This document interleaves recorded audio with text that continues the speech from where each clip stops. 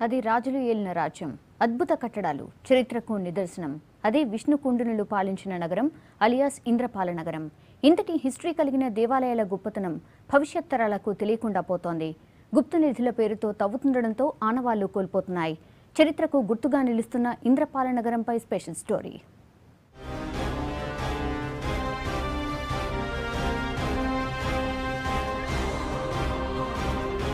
ఇది నల్గొండ జిల్లా రామన్నపేట మండలంలోని ఇంద్రపాల నగరం. ఈ పేరు వింటే చాలు గత చరిత్ర గుర్తుకొస్తుంది.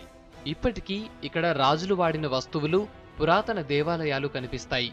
పూర్వం ఆంధ్రదేశాన్ని పాలించిన ప్రాచీన రాజు నిర్మించిన ఆలయాల్లో ఈ శివాలయం కూడా ఒకటి.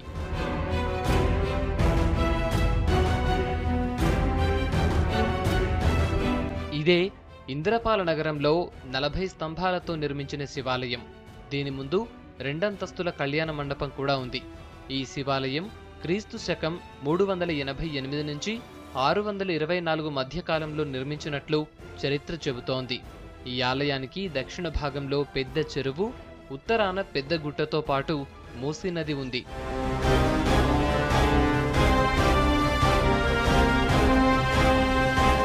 ఇంతటి చరిత్ర కలిగిన గ్రామంలో ఇప్పుడు ఆనవాళ్ళు లేకుండా చేస్తున్నారు దుండగులు.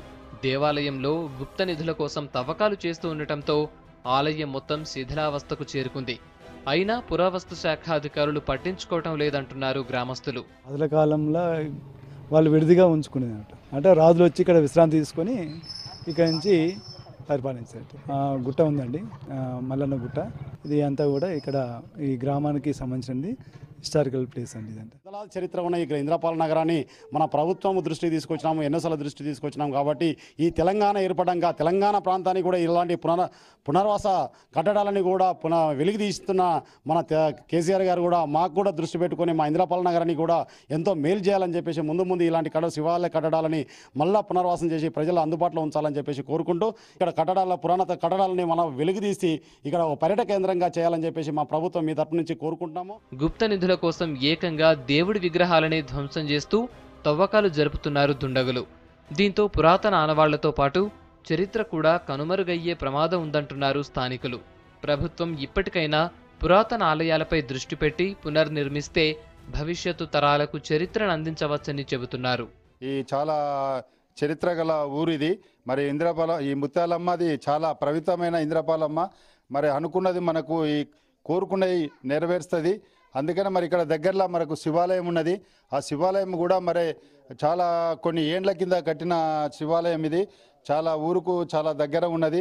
మరి పర్యాటక కేంద్రంగా మరి మార్చి అనిపించాలని చెప్పేసి రాజులు పరిపాలించినటువంటి ఏనుగులు వగైరా అంటే ఏనుగుల బంధం అంటే బావి దానికోసం సపరేట్ గడికోట ఇవన్నీ ఉన్నాయి. అన్నీ బాగా చేస్తే పర్యాటక కేంద్రంగా తయారు చేసి అభివృద్ధి చేయాలని గ్రామం కోరుకుంటుంది. ఆలయానికి ఉన్న చారిత్రక ప్రాధాన్యాన్ని ఎలాగైనా కాపాడాలని కోరుతున్నారు స్థానికులు.